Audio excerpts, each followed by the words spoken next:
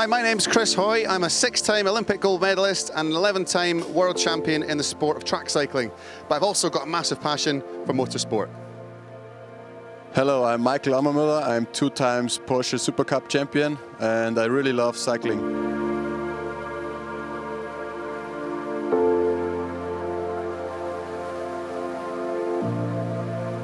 Uh, yeah, the speed, speed of the cars. I really like the noise.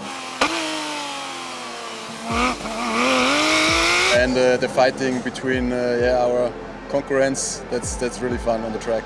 For me, it's the speed, but not quite the same speed as motorsport. Um, you do about 80 kilometers an hour on the track. It's the bankings, the G-force, the, the closeness when you're racing wheel to wheel with another competitor, and the atmosphere with the crowd as well. But yeah, a lot of fun.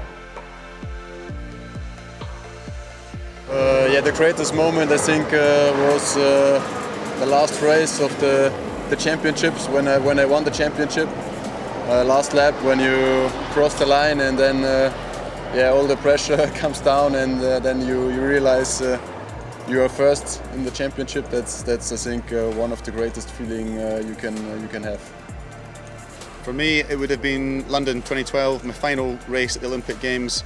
I won my sixth gold medal in front of a home crowd and it was unforgettable day, um, hugely emotional, and yeah, stepping on that podium for the last time to get the gold medal was a, a moment I'll always remember.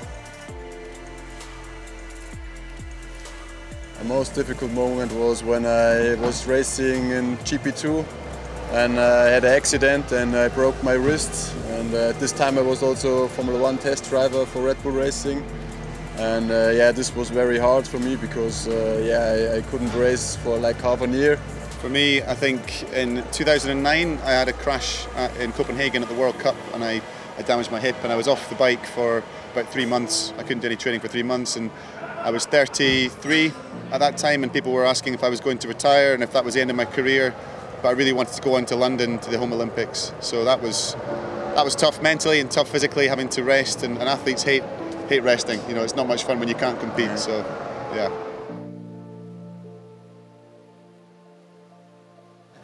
Yeah, when I was young and started with karting, I, I tried to, to, to be fit and then I started with cycling. And uh, yeah, after school I was watching the tour every time and uh, after the tour was finished I went out and uh, went on the bike. So this was a big motivation for me and uh, since then uh, I always uh, was on the bike and really loved cycling.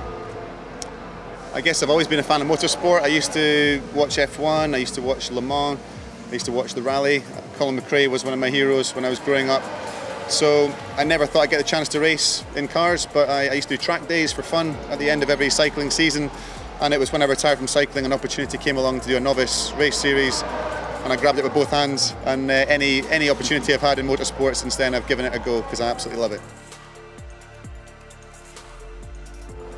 I think I can learn a lot more from Michael than Michael can learn from me, to be honest. Yeah, i have been trying to pick his brains already about the new surface and how to drive the car better, braking and weight distribution. There's these these cars are so specific in how you drive them, so the knowledge that, that Michael and the other guys have is, is very valuable to me. But I'm not sure. All I can say to him is left, right, left, right, push harder.